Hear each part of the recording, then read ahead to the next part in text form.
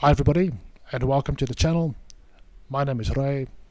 Today we are looking at a fretboard visualization app. I'll put the URL in the description below. On the bottom of the screen we have the fretboard going from fret 0 or the nut to fret 24. On the top line we have the first string or the high string. The bottom we have the sixth or low string. All the notes of the scale are highlighted on the fretboard. At the moment we are looking at the note names, but we can switch to the degrees of the scale by clicking on any of the white areas on the screen. The roots are red, the third is yellow, the fifth is green, the seventh is blue, and degrees 2, 4 and 6 are light grey. We can choose to highlight only 1, 3 and 5, 1 and 5, 1 or nothing or we can look at the roots of the major and minor chords.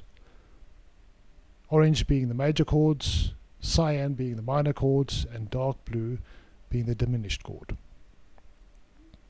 This map of the fretboard allows you to see what voicings are possible for different chords in the scale. Right now we're looking at the key of C, the major scale, Ionian mode, we are in standard tuning and we are highlighting 1, 3, 5 and 7. In the top right we have the typical triads and seventh chords available on the major scale. They are denoted as follows. On the top line we have the modal reference for the chord. Below that is the Nashville notation which is a Roman numeral where the capital denotes a major and the lowercase denotes a minor chord. Below that is the seventh.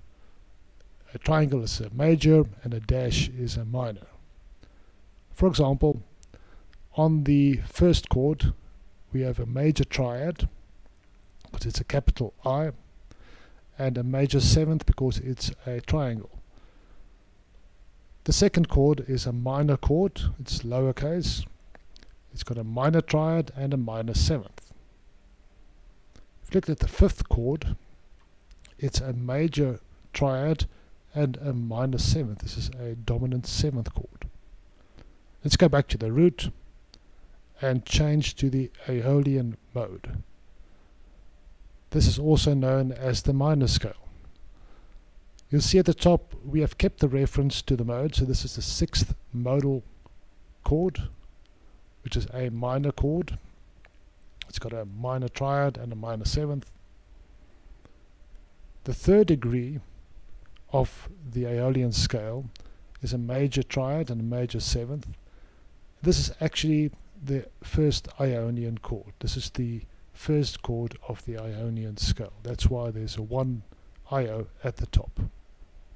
Let's go back to the Ionian mode.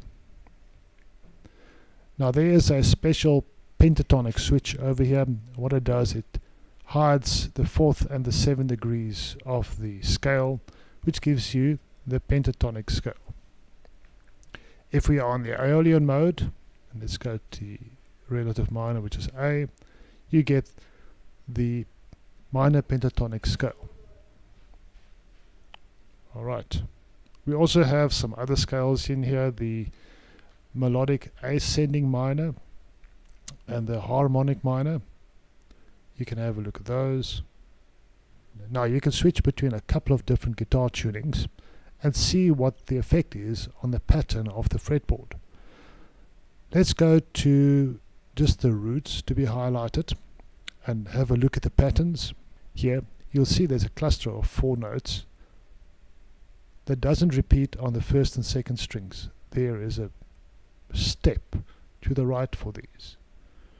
If I go to fourths tuning you'll see that step disappears and now everything is symmetrical. Go back to standard tuning and there's a step again. That's because in standard tuning there is a major third step between the second and third strings.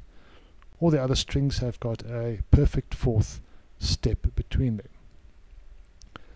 So go and have a look at the different tunings, see if uh, there's a particular one that you like. I am partial to fourths.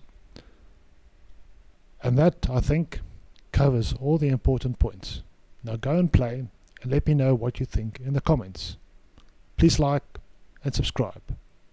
May the fourths be with you.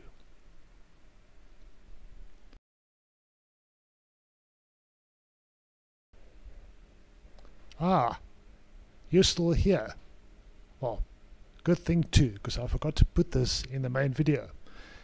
Now, if your guitar is tuned to anything other than E, then what you can do is select any other fret on the fretboard to make the fretboard start at that fret.